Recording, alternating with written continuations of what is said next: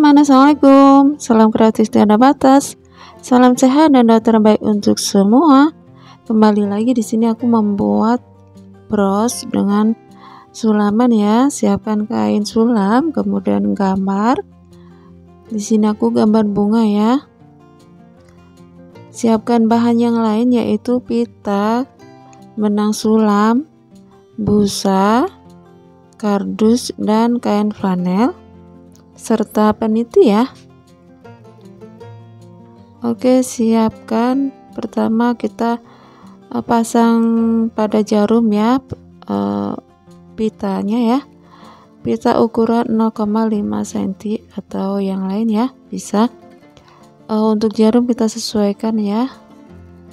Oke kita mulai satu kelopak ya.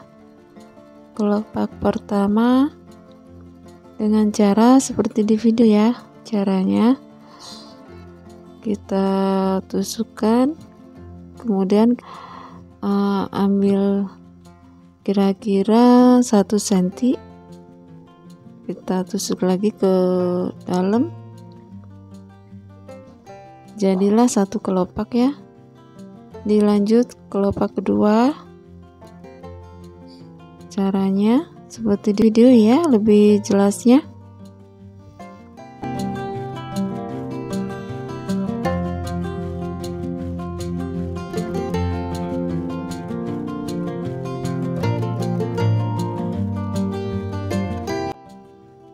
Oke dilanjut kelopak ketiga ya. Dengan cara yang sama ya. Untuk pita tadi harus dibakar ya pinggirnya agar tidak lepas terus benangnya ya. Oke kelopak keempat dan kelima ya dilanjut. Setelah kelopak kelima kita tambahkan bagian tengahnya satu titik ya. Satu kali putaran.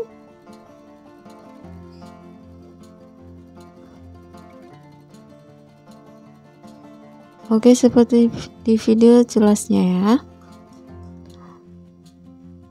dilanjut bunga yang kedua kita buat tiga bunga ya. Bunga kedua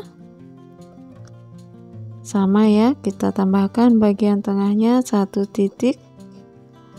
Kemudian ini bunga ketiga dengan cara yang sama. Oke dilanjut setelah bunga selesai. Kita buat batang ya untuk batang uh, kita pakai benang ya. Tidak pakai pita. Untuk batang kita pakai benang dulu ya benang sulam. Dipakainya double untuk buat batangnya seperti di video ya. Jadi kita pakai benang double kita mulai buat batang. Kita buat tiga batang ya. Ini batang pertama Oke, terima kasih yang sudah subscribe, komen, dan like. Dan terima kasih untuk yang selalu berkunjung. Dan yang baru menemukan channel ini boleh ya di subscribe, di like, dan di komen. Oke, kita lanjut bu, uh, batang kedua ya. Dengan cara yang sama. Untuk batang sebenarnya bisa pakai pita ya. Tapi di sini pita warna hijau belum ada, kita pakai benang aja. Untuk batang dan daun masih pakai benang ya. Setelah batang selesai, tiga batang, kita lanjut untuk buat daun ya. Kita buat uh, kita buat dua daun seperti di video ya caranya. Seperti biasa caranya ya. Atau di kreativitaskan sendiri bisa ya. Kita buat dua helai daun. Oke, seperti di video.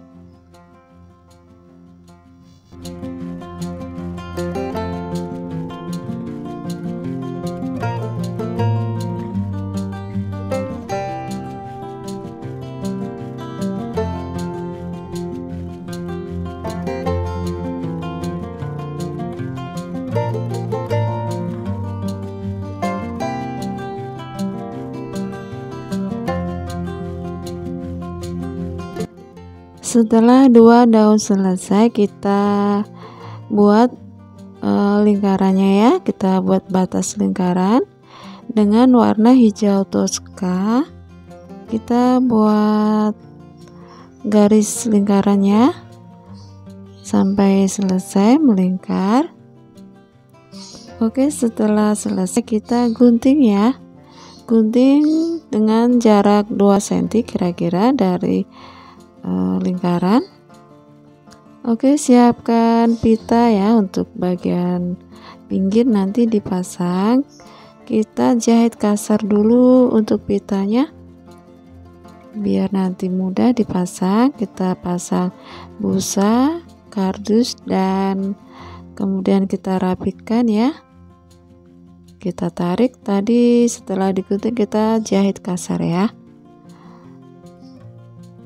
ditarik dirapikan kemudian uh, pasang pita ya. Yang tadi udah dijahit kasar. Oke kita pasang dengan lem tembak. Kita serut ya. Kita buat uh, lipatan-lipatan. Mak uh, makanya di, dijahit kasar dulu ya. Jadi mudah waktu pasangnya ya. Oke dirapikan sampai link. Terpasang pita semua ya. Sampai selesai. Setelah selesai pasang pita kita tutup dengan kain flanel ya. Untuk kain flanel dipasang penitu lebih dahulu ya penitinya dipasang dulu baru kita pasang kita tutupin ke sini ya kain flanelnya oke kita lem juga oke bros sudah selesai ya bisa dipakai semoga bermanfaat menginspirasi dan menambah semangat untuk berkarya Terima kasih sudah menonton. Wassalamualaikum warahmatullahi wabarakatuh. See you.